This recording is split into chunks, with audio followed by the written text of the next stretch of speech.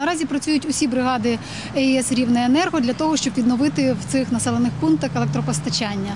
Е, хочу зауважити, що під час обриву проводів існує потенційна небезпека ураження людей електричним струмом. Тому е, компанія в котрий раз застерігає не наближатися до обірваних дротів і в е, будь-якому разі самому не намагатися відновити електропостачання. Прохання до батьків обмежити перебування дітей на вулиці, особливо в темну пору доби.